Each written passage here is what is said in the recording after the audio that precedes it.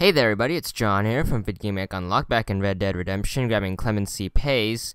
Now what you want to do is you want to start a bounty, and the way you do this is you select a wanted poster. It's the white skull on your map, and it usually appears in towns.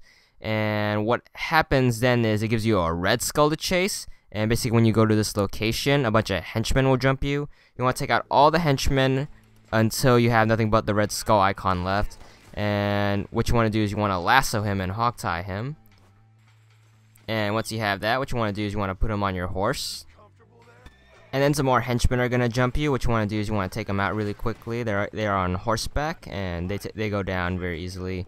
And what you want to do is you want to head to the McFarland Ranch right here and head to the jailhouse. It's marked on your map with the green dot. And uh, you get this little cutscene right here that shows him getting wheeled off to jail and you get a nice little bounty money and an achievement for 10 gamer score. And that's all there is to it